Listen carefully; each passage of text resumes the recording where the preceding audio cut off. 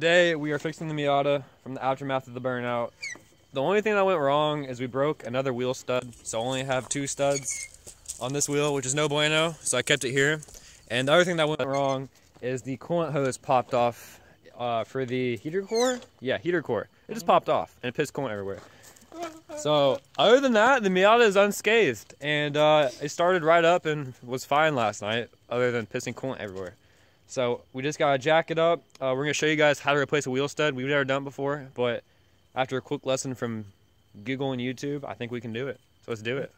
Guys, so whenever we took the other lug nut off, I found out the other one is stripped too. So right now we only have one good lug, or one good, uh, my bad, one good stud.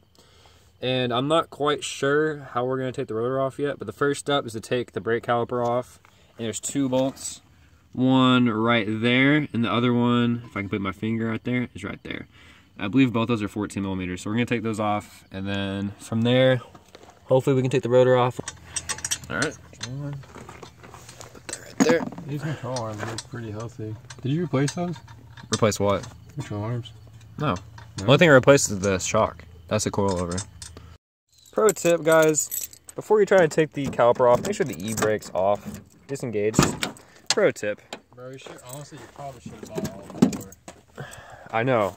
I should have. Look at this one. I'm, re I'm replacing this. Yeah, I know. I'm, I'm gonna have three. You gotta replace these two first. That should just slide right off. Well, actually, I would replace. This Here, put one. something in there so the brakes, the brake pads don't fall out. Oh no. Oh, Okay. Oh. Okay, so now that we have the caliper off, the next step is to go ahead and remove the rotor. And there's this handy little trick you can do. If you go in your trunk and you remove the bolt used to get the spare tire screwed in, which is this bolt right here, you can actually screw it into the threaded hole of the rotor and it'll pop it off, supposedly. supposedly. But no, I think it's gonna work. I thought you have to take... What happened? I think it's coming off. I'll keep on going. I thought you had to take this nut off, but... It looks... Dude, it's coming right off, I can tell. How do you put it back on? um basically so like how this works these are attached to the hub so whenever you put the tire on and you tighten it it worked that's so funny so whenever you put your wheel on it tightens everything together it makes sense Yeah. I don't think I still gotta go more. bam that's so cool and now we're at the now we're at the hub Oh, it just presses right here. dude we were about to go waste time finding a socket for that right here's your studs so what we're gonna have to do is probably cut a hole right here or something How am I gonna cut a hole? I suck at hammering. I'm gonna do this one first.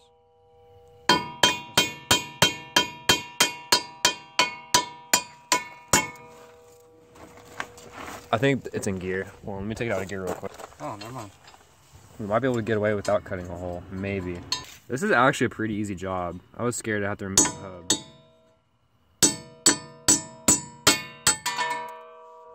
Yeah, see, but I don't- know if we'll be able to get the uh, the new one in. You know what I mean? Because that one was was short. I just bend it back. Okay, this is the only good one right now.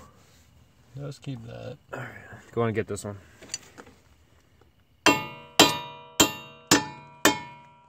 Do I suck at hammering so bad? Yeah. It's that, that's an issue. Yeah. I keep on hammering it. We gotta bend that. that's one way to do it. Okay, the next one was this one, right? yep, that's it. Dude, I should have got another one. Fuck my life. Well, it's really easy. So It is. Do it again Yeah. later. We're just on a time crunch tonight. Alright, I'll get the new Question ones. is how the fuck we're gonna get it in. Um, so what you do, I'll show you. So we got this part bent back. So the new stud just slides right in. And the next step is to actually get the stud seated because as you guys can see, if it focuses, there's some space behind it. So what we're gonna do is we're just gonna take some random stuff I found laying around uh, to use as washers. And we're just gonna stack them up like that. And we'll use this wrench as well. And then we're gonna take the lug nut, if Zach can open it. We take the lug nut and just put it and tighten it right there. We're gonna tighten the lug nut until the whole stud seats. They make these things like really hard to open.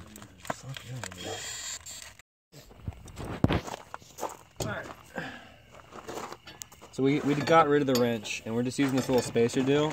And as you guys can see, every turn I do pulls it pulls the stud farther in.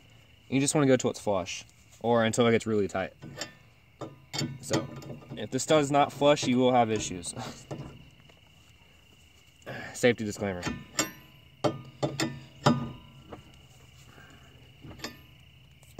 And we just found out that another stud is broken and only bought two studs. so, yeah. Honestly, guys, if you have some broken wheel studs, it's not that bad. I thought I was gonna have to take the whole hub off, which is a pain in the ass. Because then you have to remove a bunch of bolts that have been there since they left the factory. But this wasn't bad at all, was it, Zach? No. This was this was pretty damn easy. Honestly, this would have taken us probably 30 minutes at the most. We knew what we were doing. All right, Zach. Uh, we're gonna ask the subscribers. Right now, there's a guy on Craigslist selling a 92 Miata, has 220,000 miles, has a refreshed engine, new clutch, runs great, uh, completely stock minus a spoiler and an exhaust. And the guy right now is down to trade for the Subaru, and Zach is thinking about it. Clean title, has a lot of miles, but has less mileage than the Subaru.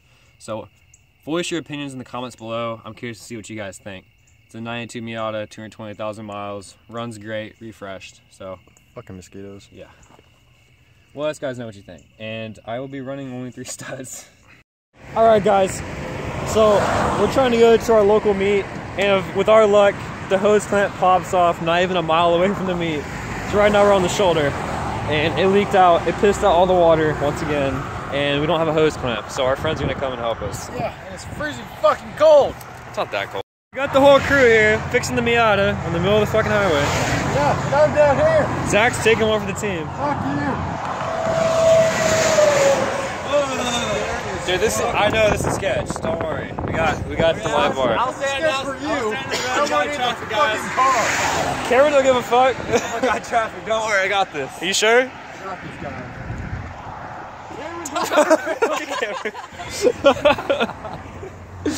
We hold on. We got the hose clamp on, and now we don't really have proper coolant, so we're just using a mixture of Fiji, which is really expensive, Kroger, and some actual coolant. Dr. Pepper. Dr. Pepper. But Colt only uses expensive shit. Oh shit. How close is it? Uh, right there. Oh, it's close to shit. Okay. All right. Thank you to all of y'all. all right, so we're out here at the meet. Notice, notice. Dave, what happened? We did the burnout with the leaf blower, dude. We challenged Haggard Garage to a burnout contest, so we had to put a leaf blower on it. It actually helped.